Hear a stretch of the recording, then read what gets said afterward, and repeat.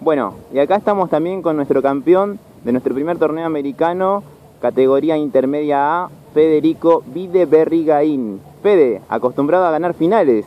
No, la verdad que bien, contento por, primero por llegar y también felicitarlos a ustedes por la organización, la estamos pasando bien. Y sí, la verdad que sorprendido porque llegué medio cansado, me costó ganar el primer partido y después, bueno, se dieron los resultados, así que contento por ganar nuevamente un torneo acá. Espero que ganando más, ¿no?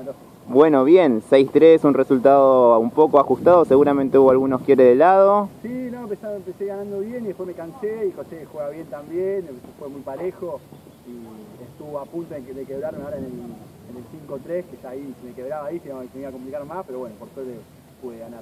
Tenés mucha hinchada por lo que vi en el Facebook, pero en contra, que te desalientan un poco. Ah, gente, gente, del padre que, no, que no, no, quiere reconocer mi progreso en el, en el tenis. En el tenis. La gente no se anima, la gente, hay poca gente del padre que se anima al tenis, ¿no?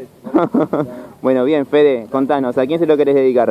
A, a Gastón Lobato, creo que no me apoya siempre en, el, en mi incursión en el, en el, tenis, que es mi ex pareja de, de padre, y ahora que a nadie. bueno, te lo dedicás a vos mismo. Dale, dale. Bueno, Fede, muchas gracias y felicitaciones. Gracias.